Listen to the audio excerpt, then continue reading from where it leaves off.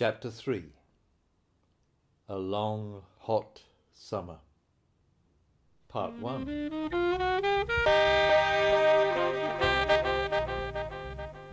I wasn't yet convinced that I wanted to be a teacher, so I didn't teach. I worked in an office. There were only five other people in the organization. After one month, it felt as if we were all adrift in the Pacific on a boat without oars.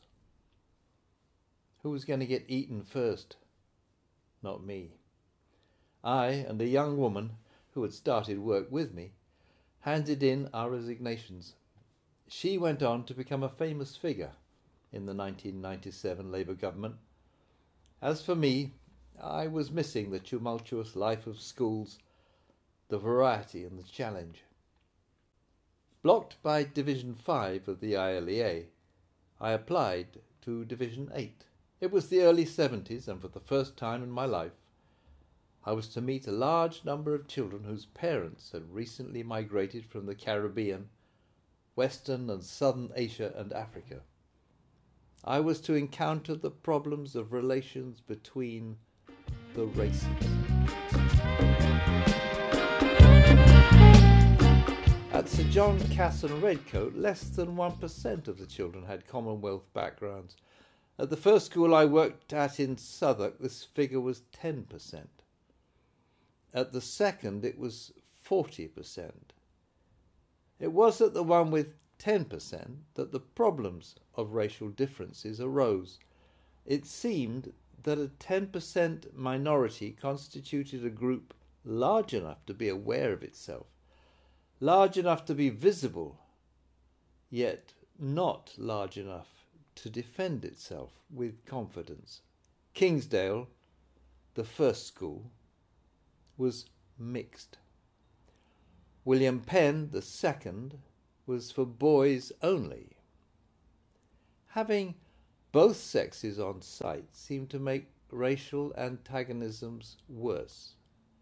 When romances developed across race lines, as they inevitably did, there were rumblings about crossing over or betrayal. Frequently, conflicts of some intensity would develop. However, once the numbers of brown skinned pupils rose to 40%, as at William Penn, the fears and suspicions on both sides seemed to vanish, and relationships between the different groups flourished.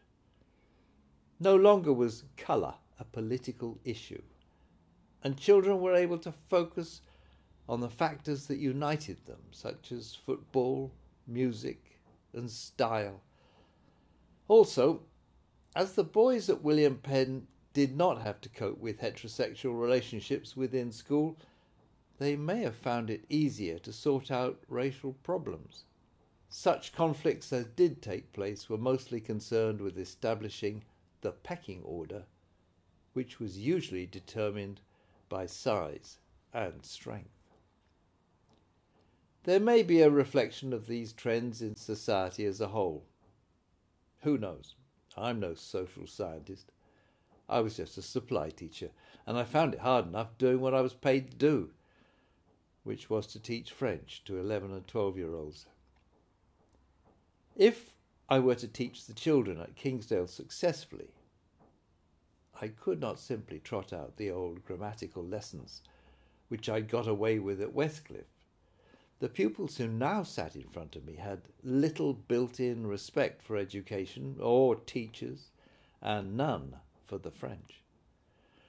Soon I began to drown in my own incompetence. I didn't think that my colleagues in the French department were very much happier. Mr. Grave, the second in department, would beat miscreants at lunchtime on Friday, after which the whole department would go down to the pub and get drunk. Occasionally, the head of department, a francophile, might wish to add a little je ne sais quoi to Friday afternoons and would bring in a selection of French wines for après école. I did not blame them. I certainly accepted their hospitality from time to time, and I recognized the need to find a way to release some of the awful pressures from which teachers in this school were suffering. This was a time of great confusion and change in London schools. Comprehensives were new. Few people understood what they were designed to achieve. Kingsdale was purpose built as a comprehensive and it had good facilities, but its size, 2,000 pupils, and scale made familiarity with anything or anybody almost impossible.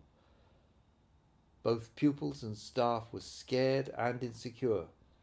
Nobody felt that they belonged, and everybody felt alienated. There were new and challenging ideas with which to contend.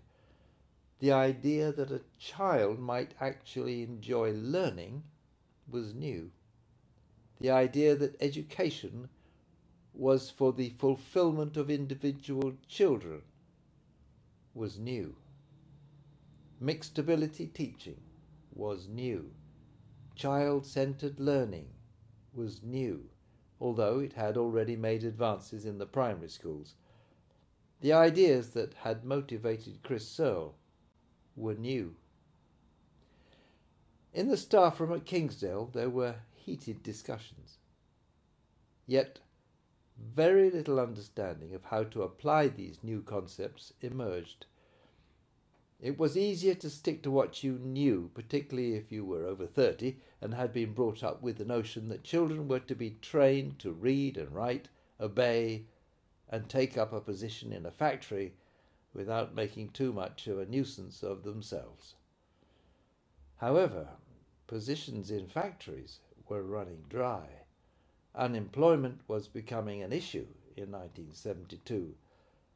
What careers were we teaching these children for? If we didn't know, the pupils and their parents probably had even less idea. Intense and emotional arguments also took place among teachers about race, immigrants, and culture. Teaching children with unfamiliar backgrounds was a new experience for many of the teachers, for whom the idea of a challenging and exotic cultural experience was a holiday in Spain. Their reactions to this situation ranged from concerned to ignorant to plain hostile. Kingsdale was a cauldron of discontent. Everyone, staff and children, suffered from the same sense of unease and insecurity. Some expressed their discontent by being resentful, hostile, and occasionally violent.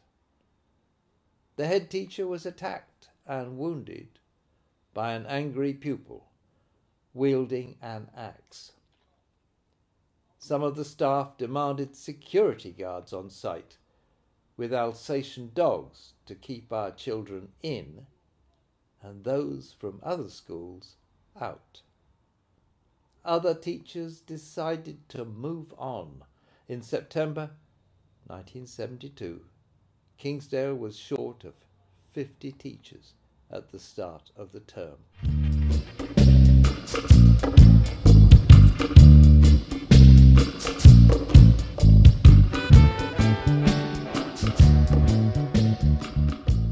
Meanwhile, I had my own classroom troubles to contend with. One morning, I arrived to find that it was on fire. Leaving the children lined up outside it, I got some water and managed to put it out before too much damage was done. I reported the matter to the head. Well, let me make a note of it, he said, with the air of a man who was tired of making notes about fires. Has the smoke cleared? Good.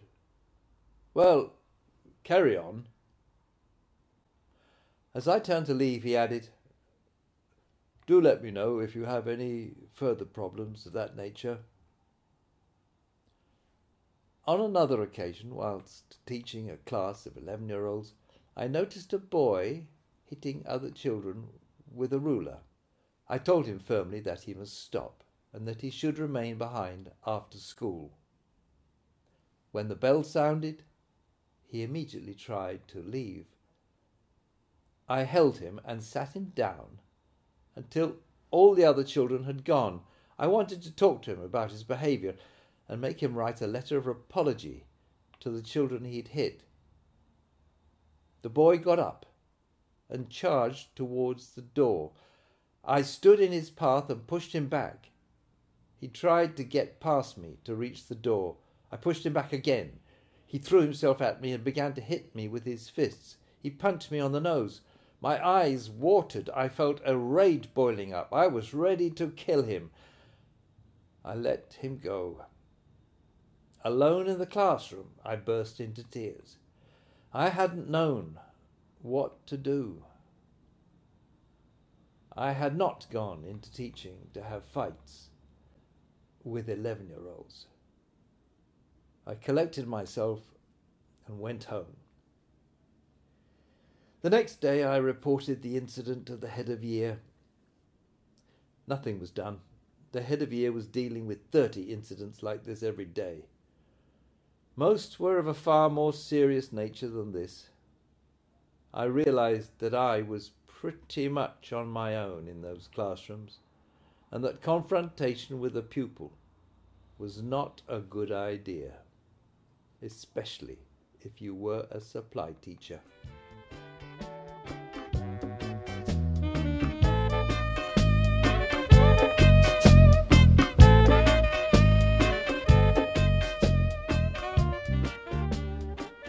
There were moments of brightness in the gloom.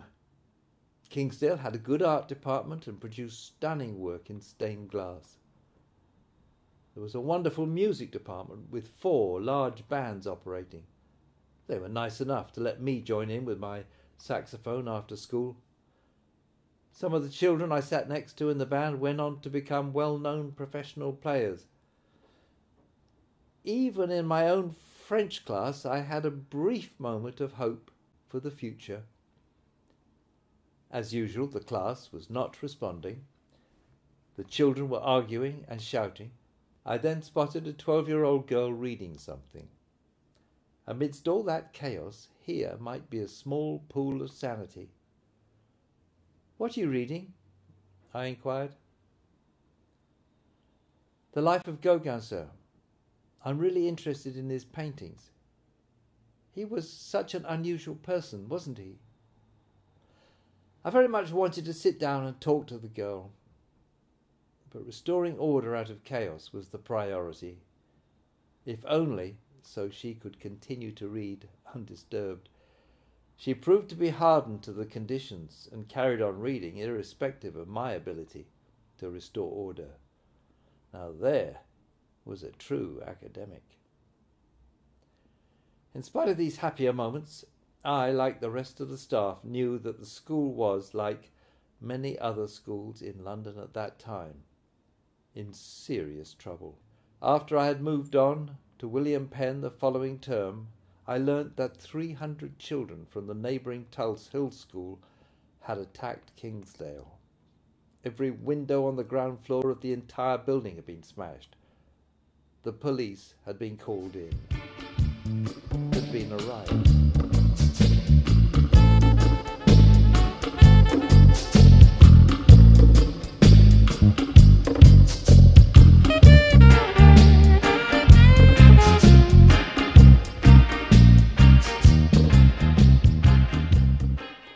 Long Hot Summer, Part 2.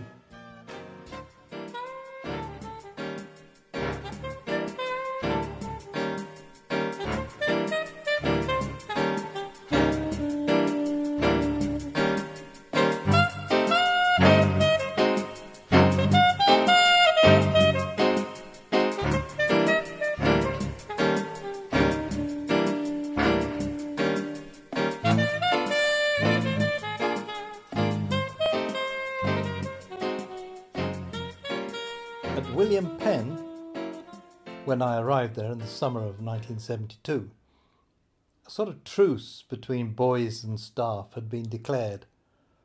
Everyone seemed to be completely aware that they were in an inadequate and confused situation. The head was so busy with union business that he was hardly ever there.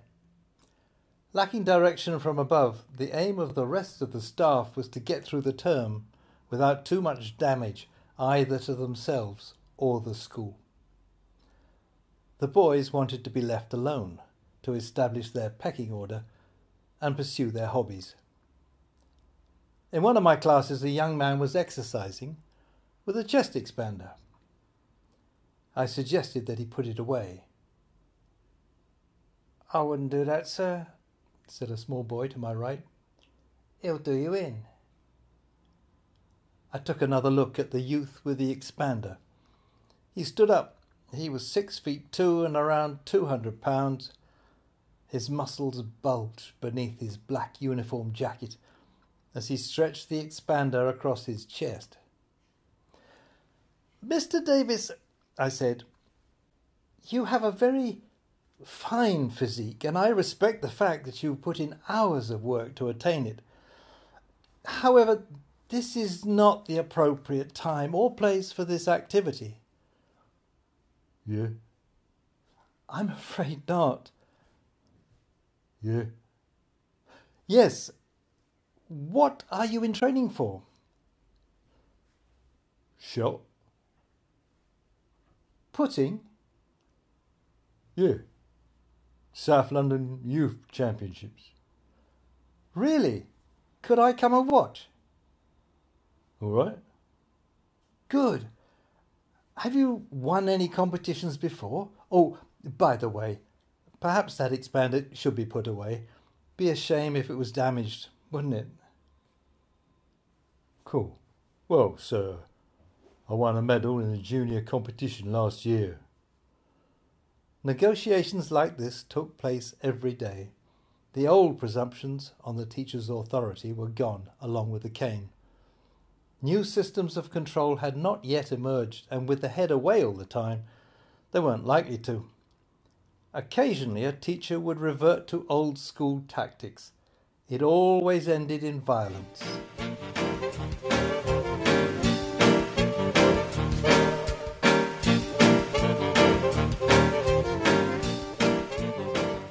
physical education teacher had felt that a boy had been rude to him and should be detained after school. The boy chose to ignore him and leave the school anyway. The teacher attempted to stop the boy at the school gates by force. Soon they were rolling on the ground together. A large crowd of boys who would otherwise have gone home gathered around. Some looked ready to give the teacher a kicking. He was not popular. The boy scrambled up first. He grabbed a cricket bat and raised it, aiming to bring it down on the man's head. I happened to be astride my moped, in crash helmet and riding gloves, when I saw the melee. I drove straight through the middle of the crowd, who kindly made way. Leaving my moped and feeling safe in my helmet, I snatched the cricket bat from the boy grabbed him from behind, and held him in an arm lock. With two steps, the man strode over and hit the boy repeatedly in the stomach with all his force. No, no, I shouted, and let the boy go. The latter then launched himself on the man with the ferocity of pain and righteous indignation. The two were joined together in holy rage. With the help of some of the more concerned boys, we separated the warring couple. I told the older pupils to take care of the boy while I escorted the teacher back to the staff room. Both participants were ultimately expelled.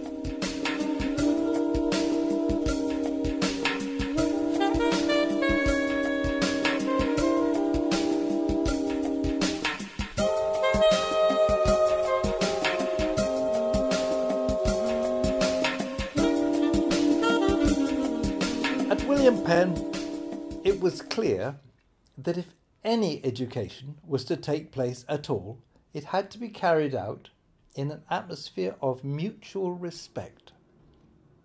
When this happened, in spite of the difficulties, good things emerged.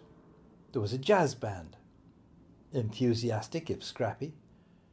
People worked hard at athletics and football. There were clubs for chess and bridge. One teacher helped the boys run a radio program over the tannoy at lunchtime, fostering the burgeoning arts of the DJ, the toaster, the rapper, and the scratcher. However, resources were poor.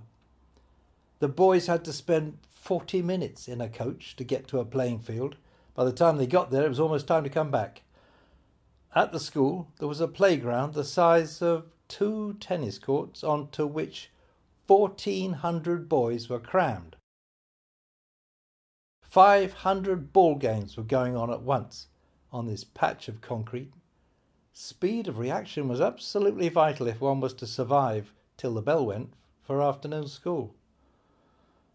William Penn's classrooms overlooked parklands belonging to a private school for girls.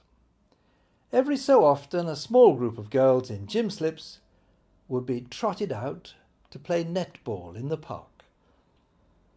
600 boys, those on the park side of the building, would immediately rush to the large windows and gawp until their teachers dragged them back or until the girls went away.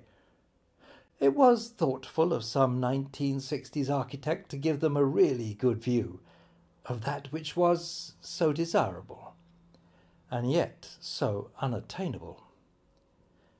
Perhaps that is what architects mean when they talk about social engineering. Gawping at the girls in the park was one of the few occasions when sex entered into the life of the school.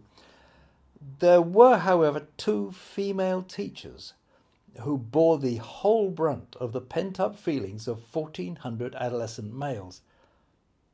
They shared the task between them thus.